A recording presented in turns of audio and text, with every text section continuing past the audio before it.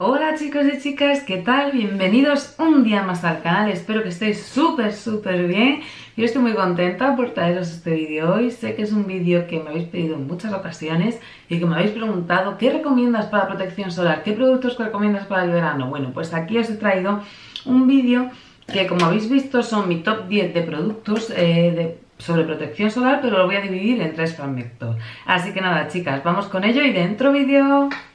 Para los que seáis nuevos por aquí, os recomiendo, os recuerdo que mi nombre es Patricia, que aquí abajo tenéis un botón que dice suscribirse, que es gratuito, no perdéis nada y a mí me ayudáis un montón.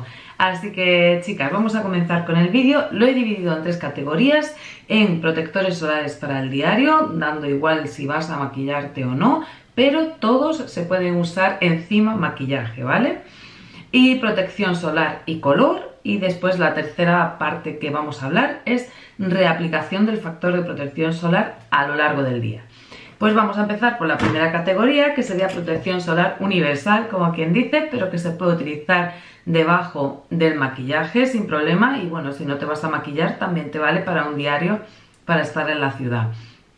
Sí deciros, chicas, que tengo un post en el blog hablando de protección solar, qué significan los SPF, cómo clasificarlos, los PA en fin, todo eso os lo dejo aquí abajo en la cajita de info para aquellas que estéis interesadas y queráis saber más acerca del tema y buscar un poquito un corrector más adecuado a vuestra un corrector, un protector más adecuado a vuestra piel, aquí abajo os lo dejo y bueno, pues ya centrándonos en lo que nos atañe, yo os voy a hablar de los que han sido mis eh, dos favoritos durante estos últimos años y un tercero que es de reciente incorporación. Eh, yo he utilizado durante mucho tiempo el Fusion Fluid de Isdin, este es mi segundo bote y bueno, se incorporó hace poco este, el, el UV Plus de Clarins, que es un protector solar anti-polución, anti-envejecimiento que protege la piel de la irritación y de los daños solares. Aparte, también la protege de la contaminación del medio ambiente. Son dos protectores geniales que a mí me funcionan súper bien. Este es el que llevo puesto hoy, como podéis ver, a mí no me blanquea en absoluto. Me funciona muy bien para diario, este me calma un poquito más la piel y este cuando mi piel empieza ya a ponerse más grasosita, ya mi piel no lo lleva tan bien y que lo use. Entonces, bueno, son dos protectores que yo los utilizo perfectamente debajo del maquillaje que me funcionan súper bien. Sí que deciros que, bueno, para que no vayáis a leer el post, que ya os digo que es breve y que os puede ser de utilidad, eh, la protección solar es diferente si vamos a la playa, si estamos en ciudad si vamos a sudar, si vamos al campo, si vamos a estar en la piscina, todo esto hace diferente la protección solar. Yo estoy hablando de un protector solar para diario, ideal para ciudad, para ir a trabajar, para venir, para un diario en ciudad. Todos los que voy a recomendar son para ciudad, ¿vale? Ninguno vale para la playa, ni ninguno vale para una larga exposición solar. Ni larga ni potente exposición solar. Quiero aclararlo para que luego no nos llevemos a confusiones y bueno, pues que al fin y al cabo no os vayáis a dañar vuestra piel creyendo que esto os va a proteger de todo, ¿vale? Entonces, bueno, por aquí os dejo estos dos que me gustan muchísimo. Y ahora el tercero es que yo utilicé el año pasado el Fusion Water, que se supone que es resistente al agua, es también de Steam. A mí no me terminó de ir, es decir, eh, yo me lo ponía, pero mi piel se agregaba más grasa, el sudor no me lo aguantaba, se me churreteaba entero. Entonces, bueno, pues lo terminé el bote y no lo he vuelto a reponer. En esta ocasión el que va a sustituir a este Isdin es este, que es de Skin 79, es el Waterproof Sun Protect. Es que no sé si lo estáis viendo. Ah, no enfoca, ahora.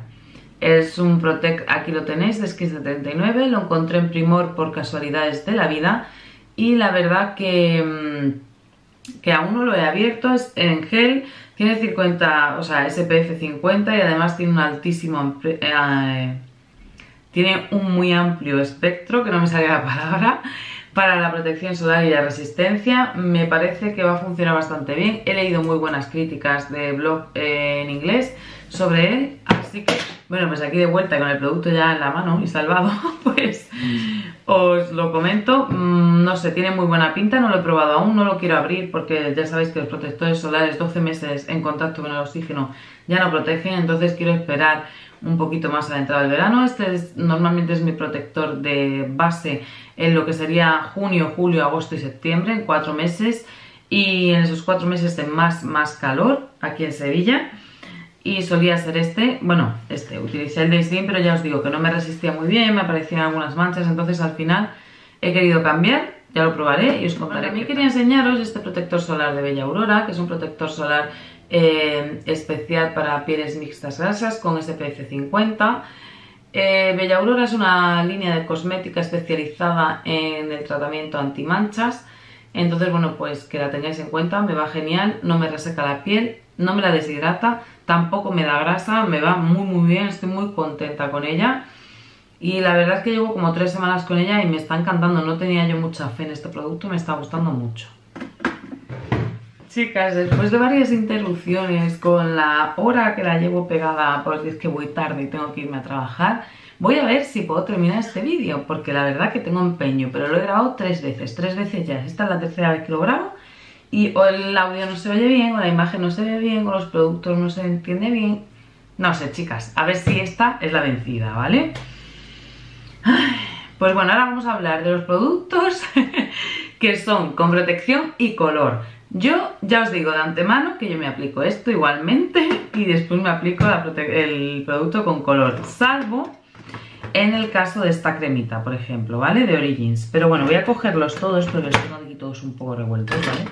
Voy a pasar de lo que es menos cobertura a lo que es más. Por ejemplo, tenemos la eh, Ginseng eh, Energy Boosting, que es una Tinted Moisturizer de Origins con factor 40 que lo que hace es unificarnos el tono de la piel, a ver si consigo que lo veáis, unificarnos el tono de la piel pero no tiene ninguna cobertura, ¿vale? Este producto me encanta porque da muchísima luminosidad al rostro, vitalidad y es efectivo frente a protección solar. El siguiente sería la Pro Radiant de NARS, que ya sabéis, las que lleváis conmigo mucho tiempo, que la amo, la adoro y me encanta. Es una Tinted Moisturizer también, aunque se puede utilizar como base, ya os lo digo yo. Os dejo aquí arriba la review. Es un producto muy muy bueno y tiene protección solar del 30. Pasaríamos ahora a la CC Cream de Chanel. La CC Cream de Chanel sí tiene protección 50. Es una CC Cream eh, buenísima. Unifica muy bien el tono de la piel, difumina los poros. En, definitiva es un productazo. En este caso también incluiríamos lo que es la Misha Perfect Cover BB Cream. Y Misha Cosmetics que tiene un SPF del 42, pero con una puntualización. Esta protege más que ninguna de las que os estoy enseñando, ¿vale? Y después pasaríamos a la Super BB Cream, o sea, a la BB a Super Plus Bleres Van. Venga, que lo he dicho bien. De Skin 79, que es esta rosita, me gusta bastante, es especial para pieles mixtas. Y bueno, pues aquí, hasta aquí esto, ¿vale? Entonces, bueno, os voy a comentar. Dijéramos que los que yo utilizo así más para diario, en plan para unificar el tono de la piel, porque no me aportan apenas cobertura, son estos dos, la de NARS y la de Origins. Eh, la de NARS sí que la puedo trabajar un poquito más, eh, sí que me aporta algo de cobertura, sí la podría llamar maquillaje, mientras que esto no, esto es un unificador del tono de la piel, lo unifica y lo protege, listo, y aparte es una crema hidratante, me encanta, me funciona súper bien para días. La utilizo sobre todo para días en las que no me quiero maquillar. Voy a estar por aquí en casa, voy a ir al parque con el niño y tal, con mi hijo y demás. No voy a hacer nada en especial, así que la utilizo para esos días, que me protege del sol para el ratito que voy a estar fuera y me da un poquito de buena cara, de aspecto buena cara, me gusta bastante. La de NAR sí que se puede utilizar como base de maquillaje, tiene una, mm, puedes conseguir una cobertura bastante decente, no vamos a decir una cobertura media, ni completa, ni nada de eso, una cobertura ligera tendiendo a medias sí que la puedes conseguir si lo aplicas con broche y demás. Yo la suelo aplicar con las manos y me gusta muchísimo. Esta junto con la siguiente que quería hablar, que es la de Misha, ambas tienen SPF 30 y esta 42 y tienen 3 Plus, ¿vale? En los 3 Plus quiere decir que además de protegernos frente a los rayos UVA y a los rayos UVB, Además de eso, tienen, mm, tienen productos e ingredientes que ayudan al confort de nuestra piel y a reducir la reactividad frente al sol. Entonces, bueno, ahí las dejo. Para mí son de lo mejor, de lo mejor que yo he probado con muchísima diferencia en cuanto a comodidad, cobertura y protección. Esta cubre un poquito más, bastante más que por ejemplo la de Origins. Cubre bastante, una cobertura media ligerita, una media baja pero bastante buena, unifica muy bien el tono de la piel. Lo único malo que tiene muy pocos tonos, entonces bueno, pues ahí tenéis que ver vosotras. Pero bueno, igualmente al tener sus tonos grisáceos, todos los tonos, em, es fácil encontrar un tono que se te pueda adaptar, ¿vale? Relativamente fácil. Lo bueno que tiene la de NARS, pues la de NARS lo bueno que tiene es que tiene 18 tonos, ¿vale? Entonces vas a encontrar el tuyo seguro, sí o sí, ¿vale? Y la de Origins es de estas coreanas que sale blanca y se transforma con el color del pH de tu piel. O sea que da igual del color de piel que seas, porque a mi madre, por ejemplo, la pone bronceadita al máximo y a mí, pues, un ligero toque de color, ¿sabéis? O sea, es... Perdón por el ruido.